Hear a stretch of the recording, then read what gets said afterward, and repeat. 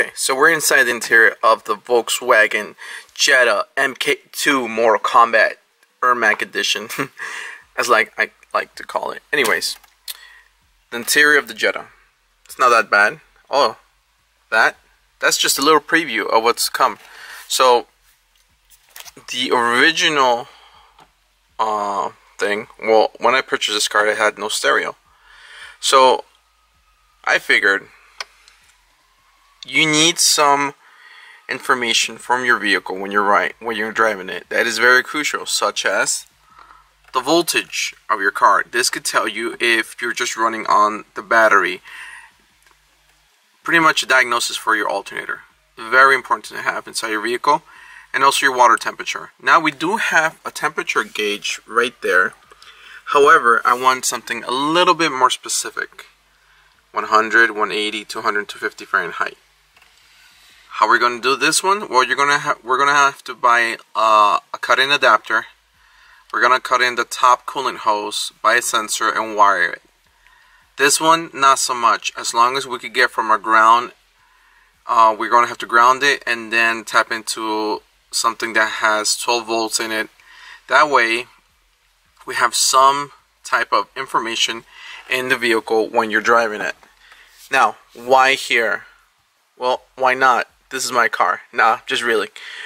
It's very important that when you're driving, your eyes are on the road.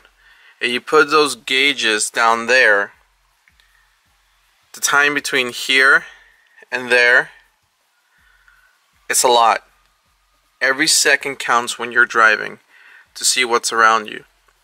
Now, the higher up, it's easier. They're within your range of view, your, your line of sight it's not that far off compared to down there not so much. In the meantime this is where they're gonna be at. I like them there. We're gonna put them there. And that's what I want. So another thing with this we're gonna take the whole trim off. There's one bolt there. I'm sure there's some other there. Here's one two. Hopefully that's it. We're also gonna have to take all these switches out. And what you do is just reach behind and pop them off. Pop them off. The ones that, like the, the emergency, the hazards, I believe they have some wires connected to them. Just pull them out. This, these little things, just pull out. Just pull out this as well. And let's get to it. Okay, so this is what you should be looking like. All the switches are out this come out. So you don't really have to disconnect this. It just actually pops off from this. Just be gentle with stuff. Especially this car being a 92. Very fragile. Some parts are hard to come by. Some are not. But, you know, still treated with respect. Okay, after you took out the trim, just as a reference, there's one bolt right there two, three, four, five, six, and seven. So it should be seven total. Now you got everything on the way. We can start taking off the bolt for the cluster. One, two. Is it two? Yeah, there should be another one somewhere. I see one here. I don't see another. I think it's just two screws holding it on. But be very gentle. Uh, where I'm to put is a piece of cloth here. So the plastic won't get too scratched up. Or anything like that. And look, now we have complete access to actually extend our wires from here all the way down over here. That way when in the future we're to do the double DIN here, we won't have to take this out anymore. This will be hopefully the last time we expose all this wiring.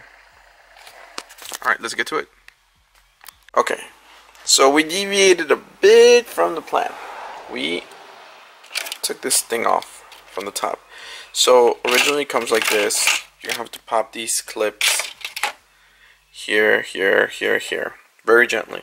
Like I said, it takes a lot of patience. So the original bulbs go here, here, and here. Now, they are really small. I thought these were like 194. These are smaller. Not a lot light gonna come through. So what we're gonna do, luckily, this there's a lot of space behind that. So the way it works, the two bulbs light up here, light reflects, it shoots down to the gauge cluster. But as you saw, the light is very dim. And also, even if we were to replace it with some LED bulbs, the LED bulbs that will fit here are very small and the light won't disperse as much to the tachometer and the RPM. So what we're going to do, we're going to go to our local auto parts store or Walmart and get a LED strip. And we're going to put it right behind this and we're going to feed it through here and we're going to rig it up somehow, some way to make this work. So like I said, you always have to think on the fly.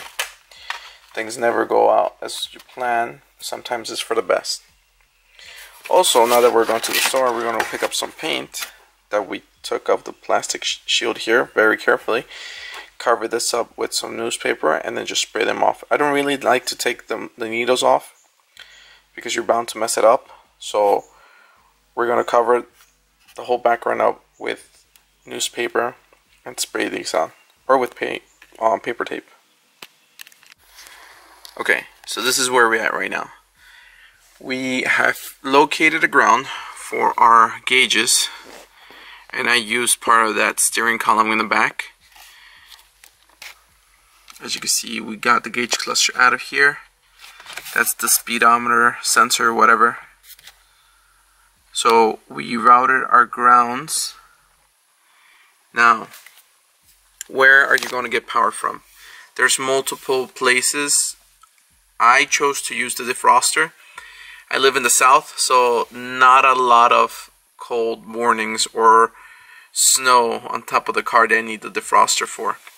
So what I did, I tapped into the switch right there is the main power and that is for the lights. So I'm just having right now just for demonstration purposes. So let me just hit the switch, the light switch. As you can see, they turn on. Voltage, water. Now, these are not the bulbs that came with the lights. I put some LED hyper bright bulbs so they look sick. And they will match the gauge cluster once I paint it just like that. So it looks OEM. And it's VDO, which is what uh, the company that makes all the tags for the majority of these German cars. And some imports. So, see, we're going to turn off the light. Turns off. Let's turn the ignition. And well, I think we're going to need the key for that. Alright.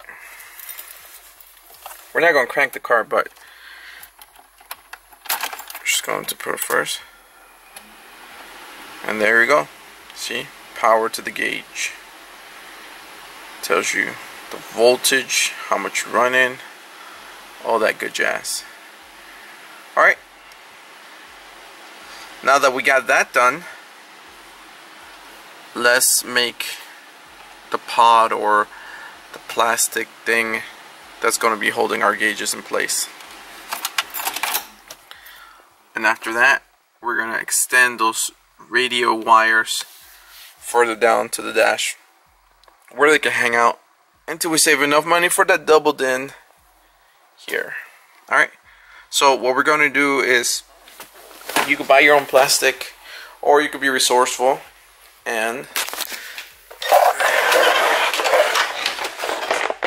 find something that's just laying around. So what is this? This is from a chair from IKEA. So what I'm going to do, it's that um, that center piece where the radio was supposed to go and stuff like that. I'm to measure it. We're to get our Dremel, cut it, make two holes, and just make it fit. And this is very durable plastic. It's kind of flexible, but it's pretty thick. You can use whatever you want. Use wood.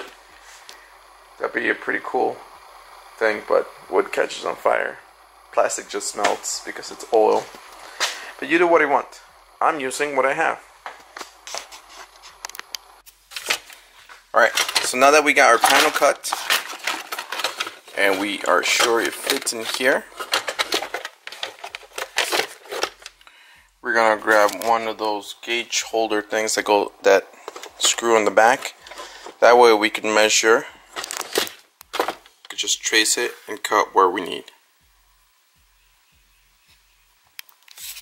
Alright, so this is how it's supposed to look like. Now, how did I make that perfect hole? Well, you use a stencil and draw it and use the X-Acto knife and do the best you can. Or, you have something like this laying around. I don't know the exact measurement, but it is perfect for it because that is the same size of the gauge. Your gauge might different might be different because I don't know what kind what brand you're getting.